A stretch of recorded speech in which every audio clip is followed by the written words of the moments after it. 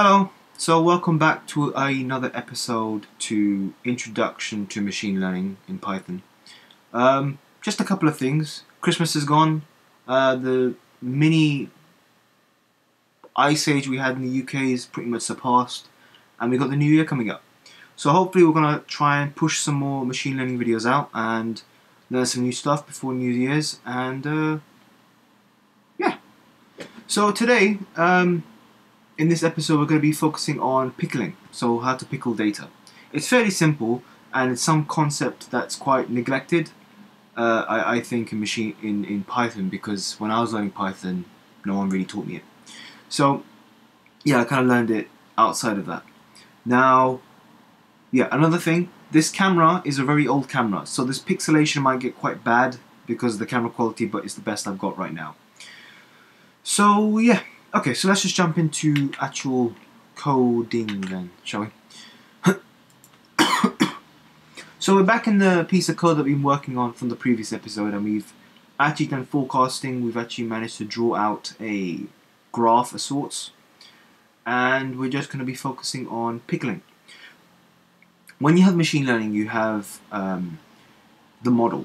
So the model is generally the brains behind the, the machine learning model. It's just, it's where all the numbers have been passed through and the corresponding values to manipulate the graph or mani manipulate values is where that occurs. So in this case, because we're doing linear regression, our classifier is the brains here, so the main model that we want to store and save. So what we can do is pickle the, the classifier and then we'll store that into a file and then if we wanted to go to a different system with different data, we can then just pop that in, populate the classifier on that machine with, a, with that pickled file, and we will have the same model there as well. So it's quite a useful thing if you're running huge amounts of data against a classifier. And so let's just jump into code and we'll talk more about it later.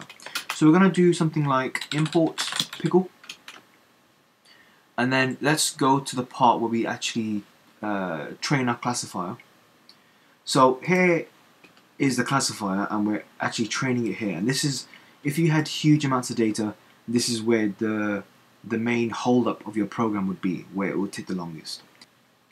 So let's just say with open, and then we're going to give it a path. So we're going to say here, uh, pickled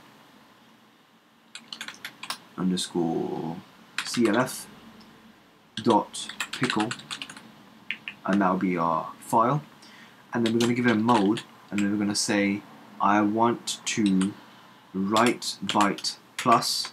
Now plus is usually denoted for if the file doesn't exist create one and it's usually linked with append but I found that adding plus just guarantees a safe um, way of making a file. For me anyway. As file and then we're going to say pickle dot dump and then we're going to say the classifier and then we're going to say the file we're dumping it to, so that's file in this case. And then just to show you it works, let's say clf equals none, and then we want to open the, the file up and populate that data back into our classifier. So we're going to say with open it again, and then we're going to specify the path to the file so that we, um, let's just copy and paste it quicker. Uh, we'll copy and paste this whole chunk and then instead of saying write byte, we're going to say read byte as file. And then we're going to say pickle dot load file. And then that's going to equal to our classifier. And just to show you what we need, what it looks like, we're going to print the classifier out. okay, so let's debug this so it will get to this line.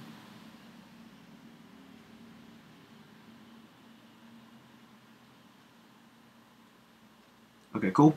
We're there. So, because our data set's quite small, uh, I don't believe it took so long there to uh, fit our data.